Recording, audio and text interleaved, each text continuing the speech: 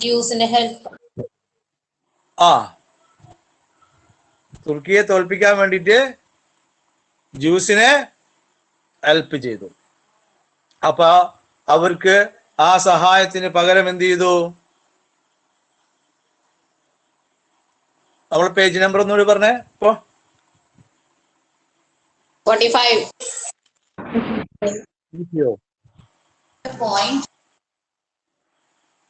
Okay ഇനി നമ്മൾ എന്താ ഡിസ്കസ് ചെയ്യാൻ പോണ? Zionism as an international movement Zionism എന്ന് പറഞ്ഞാൽ എന്താ? It is an international movement എന്താണ് അതിന്റെ ലക്ഷ്യം? ദ ഒബ്ജക്റ്റീവ് എന്താണ്? സയോണിസത്തിന്റെ പ്രത്യേകത? Objective of the establishment of a home land for the Jews ജൂതന്മാർക്ക് അവരുടേതായിട്ടുള്ള ഒരു മാതൃരാജ്യം വേണം. അതിനു വേണ്ടിയിട്ടുള്ള ഒരു മൂവ്മെന്റ് ഇന്റർനാഷണൽ മൂവ്മെന്റിന്റെ പേരാണ് എന്ത് പറയാ? സയണിസം എന്ന് പറയാ. We have already discussed the assault and cruelty of the Hitler towards the Jews നമുക്കറിയാം രണ്ടാം ലോക മഹായുദ്ധകാലത്ത് ഹിറ്റ്ലർ ജൂതന്മാരോട് കാട്ടിയ ക്രൂരതയെ നമുക്കറിയാം അല്ലേ?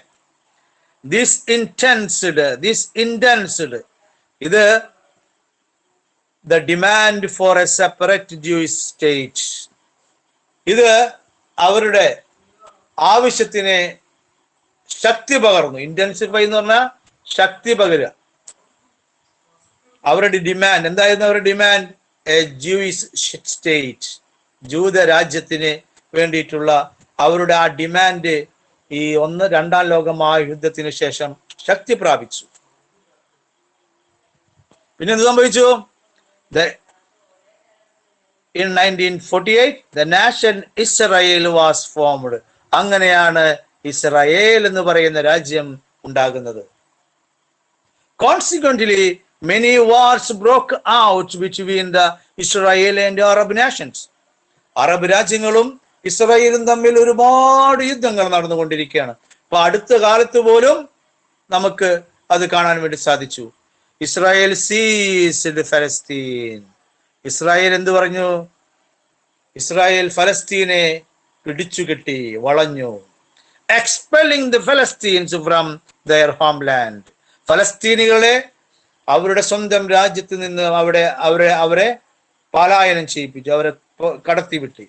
The Palestine refugees migrated to various Arab countries അതായത് ഫലസ്തീനികൾ വിവിധ അറബ് രാജ്യങ്ങളിലേക്ക് മൈഗ്രേറ്റ് ചെയ്യേണ്ടതായി വന്നു.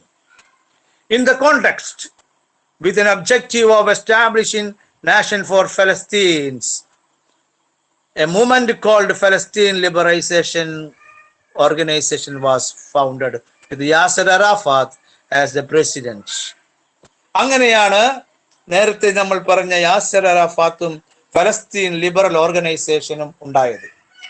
അപ്പൊ ഫലസ്തീൻ എന്ന് പറയുന്ന ഒരു രാജ്യമുണ്ടായിരുന്നു. ആ രാജ്യം രണ്ടാം ലോക മഹായുദ്ധകാലത്തിന് ശേഷം ജൂതന്മാർക്ക് കൊടുക്കുകയും ജൂതന്മാർ ഫലസ്തീനികളെ അവിടെ നിന്ന് പറഞ്ഞയക്കുകയും നാടുകടത്തുകയും ക്രൂരമായി ആക്രമിക്കുകയും ചെയ്തു. അങ്ങനെ ഫലസ്തീനികൾ സ്വന്തം രാജ്യത്തിന് സ്വാതന്ത്ര്യം കിട്ടുന്നതിന് വേണ്ടി ഒരു സ്വാതന്ത്ര്യ സമര പോരാട്ടം തുടങ്ങി. ആ സ്വാതന്ത്ര്യ സമര പോരാട്ടത്തിന്റെ പേരാണ് P L O Palestine liberal organisation അതിന്റെ പ്രസിഡന്റ് ആയിരുന്നു യാസർ അറഫാത്ത്. ആ യാസർ അറഫാത്തിന്റെ ഒരു പ്രസംഗത്തിന്റെ ഏതാനും വരികളായിരുന്നു നമ്മൾ ഈ പാഠ ഈ പാഠഭാഗം തുടങ്ങുന്നതിന് മുമ്പ് നമ്മൾ ഡിസ്കസ് ചെയ്തു. After a series of bloodshed and massacres Israel agreed a principle to recognize ഫലസ്തീൻ as a free nation.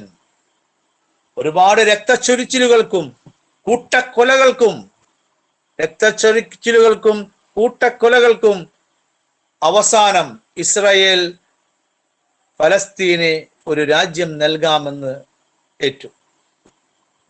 This agree agreement mediated by U S A is called Oslo pact ഇങ്ങനെ ഒരു എഗ്രിമെന്റ് ഉണ്ടാക്കി ഫല- ഫലസ്തീന് സ്വതന്ത്രമാക്കി ഈ agreement ആരുടെ നേതൃത്വത്തിലാണ് നടന്നത്? അതിന്റെ മധ്യസ്ഥ വഹിച്ചത് യു എസ് എ ആയിരുന്നു. അതിനെ ഓസ്ലോ പാക്ട് എന്നാ പറയാം nineteen ninety three but provisions in the pact are yet to be implemented എന്നാൽ അതിൽ പറഞ്ഞ ഒരുപാട് വ്യവസ്ഥകൾ ഇപ്പോഴും നടപ്പിലാവാതെ നിൽക്കുന്നുണ്ട്. അതുകൊണ്ടാണ് ഇസ്രായേലും ഫലസ്തീനും തമ്മിൽ നിരന്തരം ഇപ്പോഴും ആക്രമണങ്ങൾ നടന്നുകൊണ്ടിരിക്കുന്നതായി നമുക്ക് മാധ്യമങ്ങളിലൂടെ കാണുന്നത്. ഇവിടെ നോക്കൂ oil as a political weapon oil എന്ന് പറഞ്ഞാൽ അറിയാലോ പെട്രോൾ ഡീസൽ ക്രൂഡ് ഓയിൽസ് അല്ലെ? അതൊരു രാഷ്ട്രീയ ആയുധമാക്കി മാറ്റി. എങ്ങനെയാണ് അത് രാഷ്ട്രീയ ആയുധമാക്കി മാറ്റുക? West Asia holds half of the world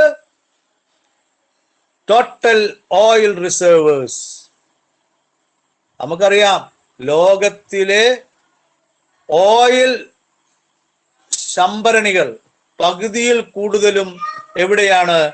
west ഏഷ്യയിലാണുള്ളത് following the Arab Israel war Arab Israel war ഉണ്ടായപ്പോൾ an organisation of petroleum exporting countries അതിന്റെ പേരാണ് OPEC organisation of petroleum exporting countries of oil exporting countries was formed ഒരു പുതിയ സംഘടന വന്നു.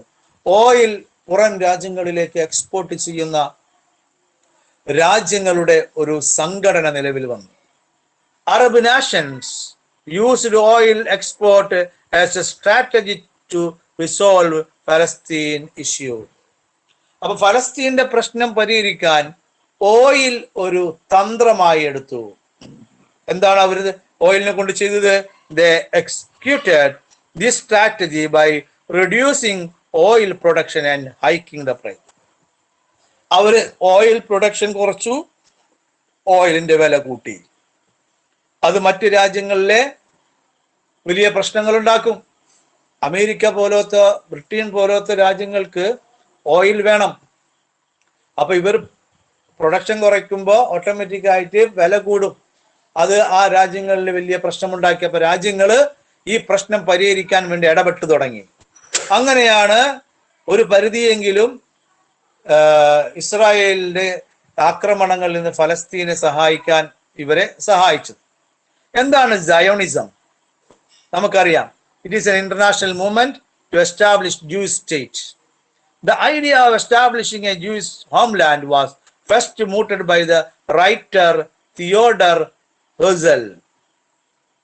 ജൂതന്മാർക്ക് ഒരു രാജ്യം വേണമെന്നുള്ള ആദ്യത്തെ ആശയം വന്നത് തിയോഡർ ഹെർസൽ എന്ന് പറയുന്ന എഴുത്തുകാരനാണ് he proposed the idea Jewish homeland in book the Jewish state Jewish state എന്ന് പറയുന്ന അദ്ദേഹത്തിന്റെ ബുക്കിൽ അദ്ദേഹം സയണിസം എന്ന് പറയുന്ന വാക്ക് ഉദ്ധരിക്കുന്നുണ്ട്.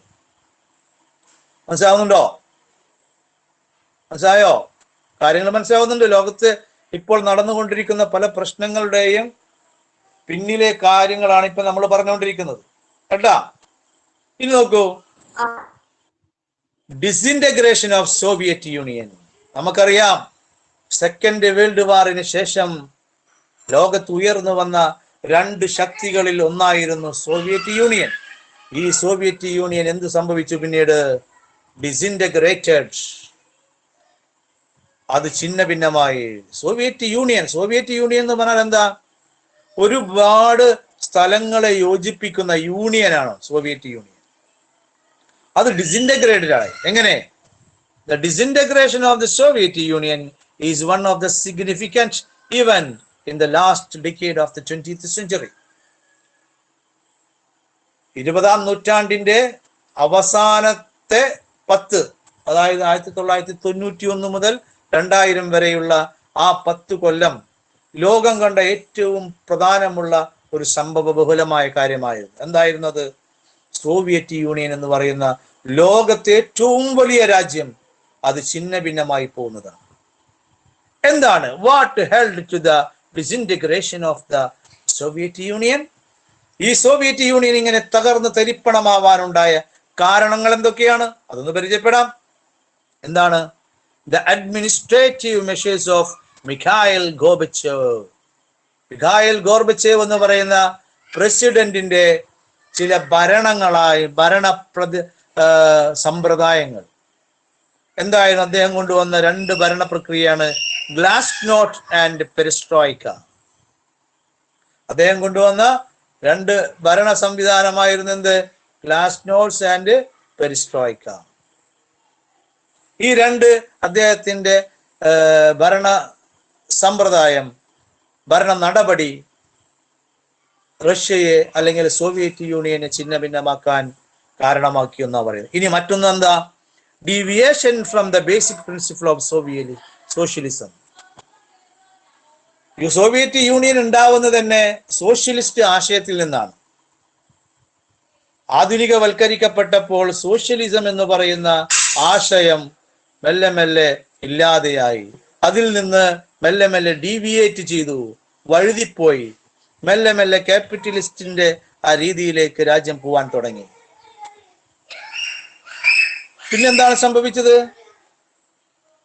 Corruption and inefficient of the bureaucracy അഴിമതിയും അതേപോലെ തന്നെ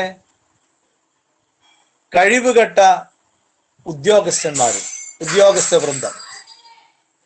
ബ്യൂറോക്രാറ്റ്സ് എന്ന് പറഞ്ഞു കഴിഞ്ഞാൽ ഉദ്യോഗസ്ഥരാണ് കഴിവുകെട്ടവരാണ്. അവർ അഴിമതിക്കാരായിരുന്നു. Failure in bringing about changes in the economic sector സാമ്പത്തിക മേഖലകളിൽ മാറ്റങ്ങൾ കൊണ്ടുവരാൻ പരാജയപ്പെട്ടു ഫെയിലിയർ ആയി അപ്പൊ ഇതൊക്കെയാണ് glasnost perestroika of Gorbachev and the deviation of the um, socialism and corrupted and inefficient bureaucrats and failure to bring about changes in economic sector. These are the reasons for the disintegration of uh, the Soviet Union. With the resignation of Gorbachev as president in 1991, Soviet Union formally ceased to exist. അങ്ങനെ ഗോർബച്ചേവിന്റെ രാജിയോടുകൂടി റഷ്യയുടെ അദ്ദേഹത്തിന്റെ രാജിയോടുകൂടി Soviet Union formally ceased to exist Soviet Union എന്ന രാജ്യം മെല്ലെ മെല്ലെ ഇല്ലാതായി naturally this ended cold war അങ്ങനെ നേരത്തെ ഉണ്ടായിരുന്ന ക്യാപിറ്റലിസ്റ്റ് രാജ്യങ്ങളും സോഷ്യ- സോഷ്യലിസ്റ്റ് രാജ്യങ്ങൾ തമ്മിലുള്ള ആ ഒരു കോൾഡ് വാർ ഉണ്ടല്ലോ അത് ഇതോടുകൂടി അവസാനിച്ചു. കാരണം എന്താ? ഒരു ശക്തി തകർന്നു. The disintegration of the Soviet Union had a wide impact on international relations Soviet യൂണിയന്റെ ഈ ഒരു പതനം ഈ ഈ വിഭാഗീയത അത് അന്താരാഷ്ട്ര ബന്ധങ്ങളിൽ അന്തർദേശീയ ബന്ധങ്ങളിൽ ഒരുപാട് വ്യാപകമായ മാറ്റങ്ങൾ ഉണ്ടാക്കി യൂണിപോളാർ വേൾഡ് എമർജ്ഡ് നേരത്തെ എന്തായിരുന്നു? ബൈപോളാർ ആയിരുന്നു അല്ലെ? നേരത്തെ ബൈപോളാർ ആയിരുന്നു. എന്താ? ഒരു സൈഡിൽ ക്യാപിറ്റലിസം മറ്റേ സൈഡിൽ സോഷ്യലിസം ആയിരുന്നു അല്ലേ? എന്നാൽ ഇപ്പോഴോ ഇപ്പോഴോ ഒരു ലോകം മാത്രമായി ഏകധ്രുവ ലോകമായി. ഏതാണ്? ഏതാണ് under the leadership of U S A U S എയുടെ നേതൃത്വത്തിലുള്ള ഏകധ്രുവ ഇപ്പൊ എല്ലാത്തിലും അത് കണ്ടില്ല ഇപ്പോ? അതുകൊണ്ടാണ് ലോകത്തിന്റെ പല മേഖലകളിലും അമേരിക്ക കൈക്കടത്തുന്നത് അമേരിക്ക വെസ്റ്റേഷ്യയിൽ വരുന്നു രാജ്യങ്ങളെ സഹായിക്കുന്നു മറ്റു രാജ്യങ്ങളെ ആക്രമിക്കുന്നു. അവിടേക്ക് അവരവരുടെ അവരുടെ ആയുധങ്ങൾ വിൽക്കുന്നു അവിടെ മുതലാക്കുന്നു ഓയിൽ കട്ടുകൊണ്ടുപോകുന്നു അങ്ങനെ അമേരിക്ക അവരുടെ ഒരു പുതിയ ഒരു ഇമ്പീരിയലിസ്റ്റ് ഐഡിയ ഇവിടെ അപ്ലൈ ചെയ്യാണ് മനസ്സിലാവുന്നുണ്ടോ? മനസ്സിലാവുന്നുണ്ടോ? കഥകൾ കേൾക്കുമ്പോ രസണ്ട? ക്ലാസ് രസണ്ട?